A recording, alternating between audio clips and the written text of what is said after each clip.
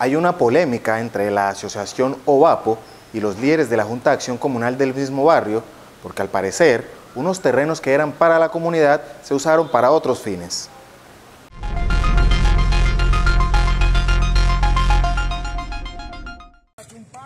En este video que se hizo viral en redes sociales, donde aparece la exalcaldesa de Quibdó, Zulia Mena García, grabando con un celular, dejó al descubierto el litigio que existe desde hace varios años entre la Junta de Acción Comunal del barrio Ovapo y la Asociación de Barrios Populares de Quibdó, Ovapo.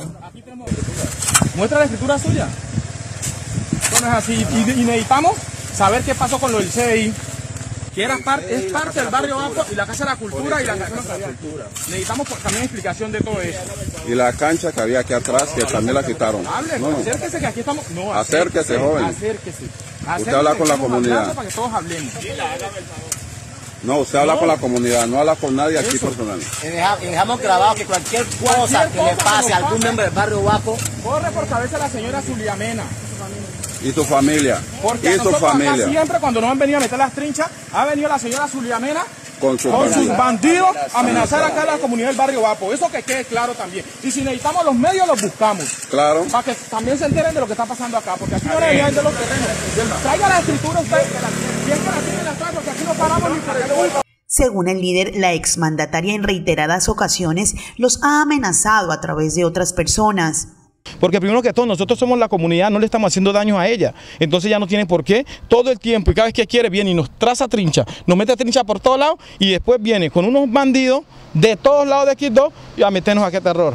Eh, claramente nosotros tenemos un documento, pero tenemos la posesión, la posesión de estar aquí hace 25 años de estar aquí y aquí no existe una escritura.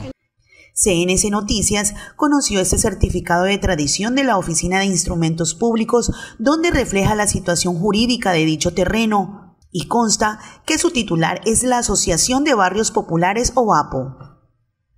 Porque una cosa es la organización de barrios populares y otra cosa es el barrio OVAPO, que ese nació a raíz de la organización.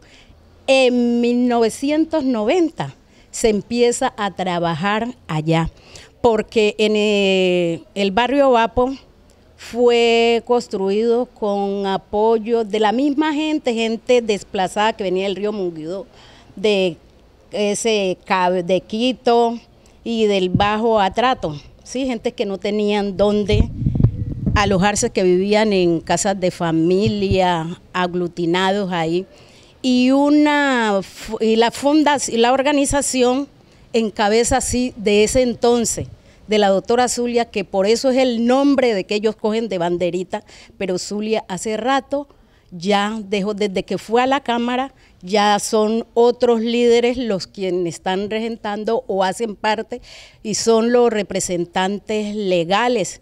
Yo desde el 94 vengo haciendo parte de la junta directiva. Y desde el 2008 he venido que se hizo la última ah, junta, entonces desde ahí está.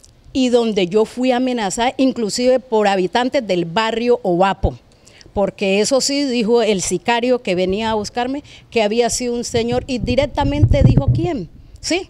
Entonces yo desde allí ha venido la, la disputa con estos del barrio Vapo. Pero ese terreno hace parte de la organización, porque no es la primera vez que ellos lo han hecho. Ya eso hemos estado, eso está en la fiscalía. Llevamos en el 2014, se hizo la denuncia porque el señor Hortensio, cuando se mandó rozar de nuevo eso, y le sacó machetes y de todo a un hermano de Zulia con los trabajadores que tenían ahí. Que tenemos 25 años de estar luchando por estas, con estas, por estas tierras, mi mamá, los vecinos y mucha gente que prácticamente le han vulnerado sus derechos porque como ya son los viejos que han quedado, nosotros la juventud que venimos creciendo, igualmente le hemos tratado de esto, colocarlos, colocarnos al día y recuperar esto. Nosotros acá no tenemos parque para los niños. Nosotros acá no tenemos una casa de acción comunal. Eso es una cosa vergonzosa que este barrio tan grande que está y con el tiempo que tiene fundado y nosotros acá no tengamos una casa de acción comunal.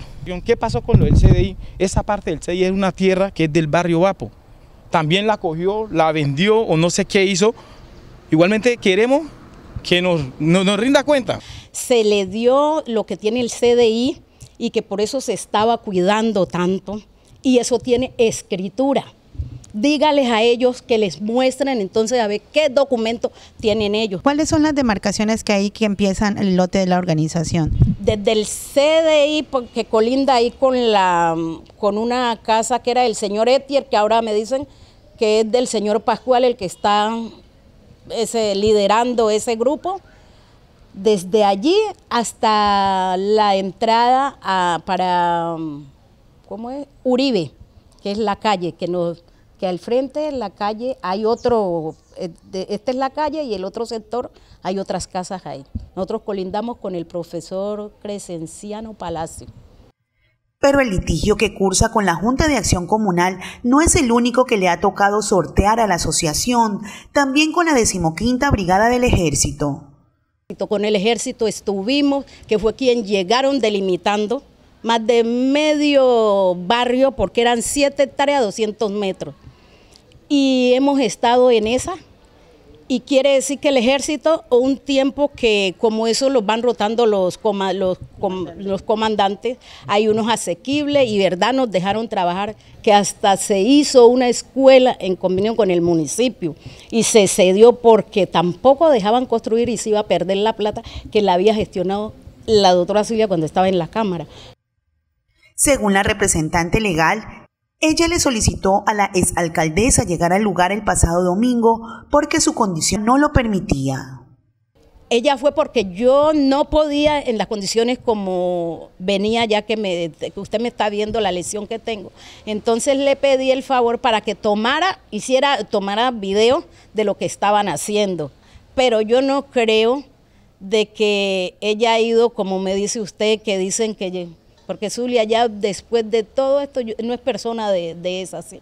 Entonces, no sé, pero ahí que hay que tomar acciones de nuevo con el abogado, porque ya esto está muy largo con esta gente. Jimmy Mena y otros líderes de la Junta de Acción Comunal dicen que continuarán con su proyecto de construir un parque, una casa comunal y unos lotes. Tenemos plano del parque, la casa comunal y de todo tenemos. Las familias han crecido demasiado, ¿sí me están entendiendo? Entonces a las familias crecer igualmente toda la, pongamos yo, pongamos con mi mamá, ya es justo pongamos que yo tenga una casa digna y entonces las personas que igualmente lo necesiten, igualmente se les da a cabo un terreno de la misma comunidad. Estos son lotes. Sí, señora. No son personas que vienen de otro lado, sino que son de la misma comunidad. Es poquito que se haga hacer la casa, eh, la casa comunal, el parque y el resto dividírselo a la comunidad, a las personas que realmente lo necesitan. Cuanto antes, con el apoyo de la comunidad, como lo venimos haciendo, vamos a sacar esto adelante, porque para atrás no vamos a echar. Se han creado, salió la Junta de Acción Comunal y según la Junta de Acción Comunal viene a decir de que ellos, que para crear parque ahí en esa zona que van a hacer, no señor, la organización desde que se el lote se delimitó, se dejaron en las calles, se dejaron en cuadras, tenían para parque, había para espacio, para la casa de la cultura, todo eso había para una casa comunal. Todo eso lo vendieron, se lo cogieron entre ellos mismos, que son los que venden y revenden y ahora quieren también cogerse ese, ese pedazo de ahí del CDI, que era lo único que había quedado, que habían dejado por, porque eso prácticamente es del municipio, y el municipio le cedió en ese entonces, cuando el doctor Félix Arenas le cedió a la organización, y ahí fue que se obtuvo ese lote, que con qué documento, con qué unas pólizas que se inventan ellos, ¿sí? pero de escritura no tienen. Pese a las diferencias, Jimmy dejó en claro que está abierto al diálogo para buscar una solución. Claro, nos sentaríamos. Nos sentaríamos. La organización es la dueña de, de esos predios y que esos que están haciendo eso son prácticamente unos ladrones, ¿sí? Porque ellos no tienen documentos para ese decir, y en caso tal cuando ese es a la organización de barrios populares, no es a la Junta, la Junta de Acción Comunal del Barrio Apo, es a la organización que fue la primera, la quien obtuvo el lote. ¿Hasta dónde piensan llegar? Hasta la última, hasta la última consecuencia, porque igualmente de la comunidad, la comunidad lo necesita. Otra situación que les preocupa a la asociación Ovapo es la quebrada que por los terrenos pasa y que ellos protegían, pero Codechocó no tomó las acciones pertinentes para evitar su contaminación.